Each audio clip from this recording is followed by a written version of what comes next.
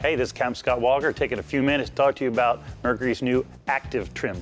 Mercury Active Trim is a GPS speed-based automatic engine trim system.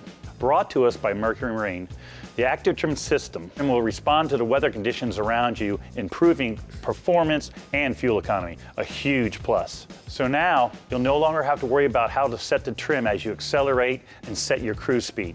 It'll do it for you.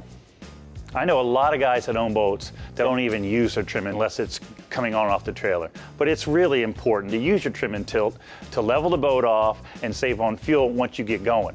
More motor in the water is more fuel going out of your tank. Active trim also does the same in reverse. When you slow down or make a turn, it returns the motors to their proper position for docking the boat, navigating a channel, fighting a fish.